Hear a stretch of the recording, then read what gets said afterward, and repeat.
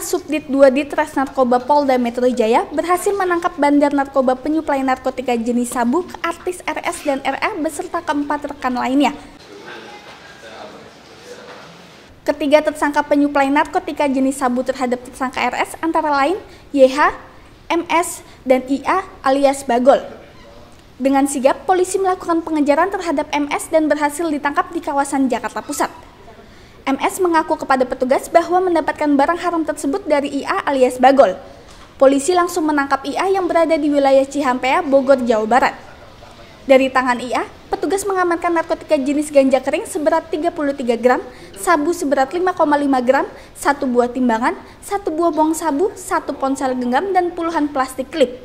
Terhadap enam orang tersangka RH dan kawan-kawan yang kita kemarin kita rilis, yang kita tangkap di apartemen lobby Hotel Wape, ya, daerah Jakarta Selatan. Di kemarin kami sampaikan bahwa dari keenam tersangka itu sudah kita lakukan asesmen dan nanti asesmen ini nanti hasilnya akan kita tunggu minggu depan. Ya. Mudah-mudahan hari Senin sudah dapat seperti apa asesmen hasil asesmen dari BNN. Jadi dari interogasi ya, dari interogasi dari keenam orang itu tersangka bahwa barang ya, barang yang 0,5 gram yang mereka gunakan habis itu adalah berasal dari tersangka Y, ya, YG ya, YG.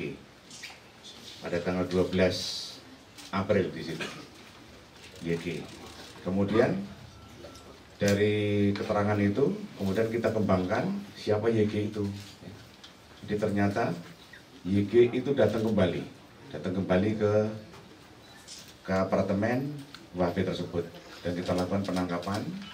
Dan yang bersangkutan pada saat tertangkap membawa barang narkotika jenis sabu seberat 0,6 gram. Ya di situ. 0,6 gram Atas perbuatannya, tersangka dikenakan pasal 114 ayat 1, subsider pasal 112 ayat 1 Undang-Undang Republik Indonesia nomor 35 tahun 2009 tentang narkotika dengan ancaman hukuman penjara paling singkat 5 tahun dan paling lama 20 tahun dan pidana denda paling sedikit 1 miliar rupiah dan paling banyak 10 miliar rupiah. Dari Jakarta, tim liputan Cibrata TV, salam Cibrata.